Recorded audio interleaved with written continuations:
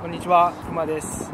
えー、僕は今カナダのトロントに約10ヶ月の留学に来ています。えー、僕が留学したきっかけはもともと英語を勉強するのが好きで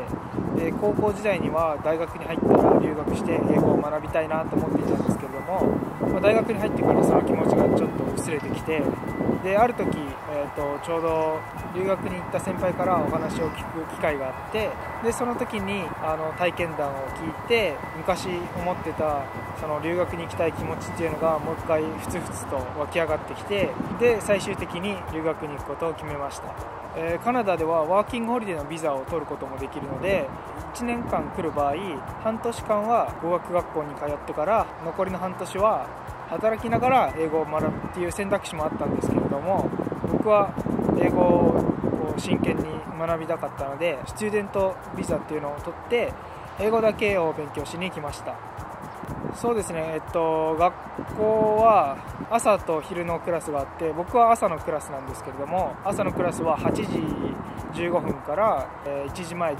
時45分までのクラスでそうですね。学校はすごく綺麗で設備もすごく整ってて授業では電子黒板を使ったりしてます。僕が留学に来る前はカナダはすごく寒い国で夏もすごく寒いんじゃないかなと思ってたんですけどもしっかり夏もあって夏になると30度ぐらいまでは気温も上がるんですけれどもやっぱり冬はマイナス20度マイナス30度っていう日もあるのですごい極端な国だなと思います。ただ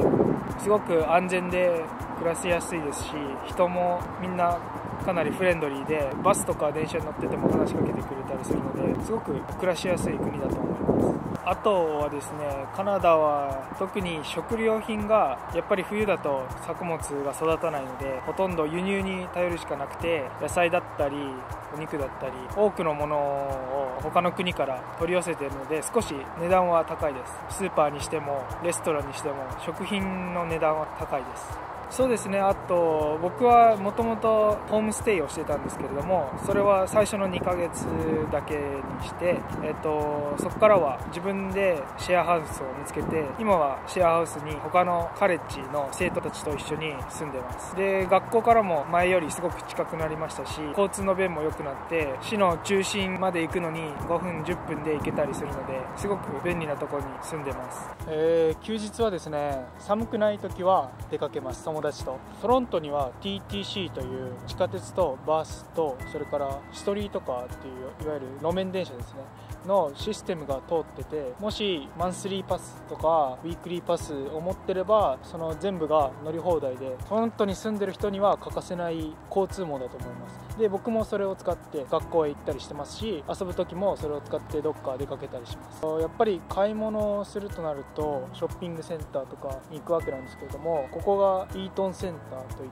てトロントのあのダウンタウンの中では一番大きなショッピングモールになります。これは地下鉄の駅1駅分あって端から端まで歩くと1駅分歩けることになります。他にもですね勉強する時は市の図書館へ行って勉強したりあとは大学なんかも行ったりして勉強してます。とにかくダウンタウンの中心街に出れば何でもあるので何も予定ない時はお店を回って過ごしたりとか今ではないんですけども夏だったらカナダは唯一メジャーリーグのトロントブルージェイズという球団がある都市なのでスタジアムに行って休日は野球見たりとか、まあ、そういうことをしてましたね。ダウンタウンって言っても規模はそこまで大きくなくて東京とかと比べるとまた全然違うんですけれども主に休日やることって言えば友達とレストランで食事したりっていう感じですかね。トロントはすごく多文化な都市でいろんな国の人がいてやっぱりそういう多文化な都市だといろんな国のレストランとかを見つけられてその国の友達にそのレストランを案内してもらってとかでカナダの文化だけじゃなくて他のいろんな文化も体験できるところがすごく好きです。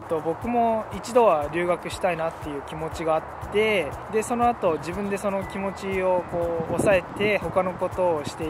たのででも心の底ではずっと留学には行きたいなっていう気持ちだったり好奇心があってたまたまその先輩の話を聞く機会があってもう一回留学したいなっていう気持ちを思い出すことができたのであのぜひ留学に行った友達なり先輩なりそして留学してる人の体験談だったり今インターネットを見たりあとは留学のエージェンシーに行くといろいろお話を聞けるのでぜひですね一歩踏み出して最初のチャンスというか何か自分にためになる情報を集めてもらうと留学のことを考えやすくなったりその思いも強くなるのかなと思います。ありがとうございました。